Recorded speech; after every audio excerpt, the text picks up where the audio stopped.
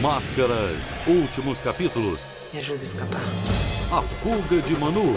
É agora.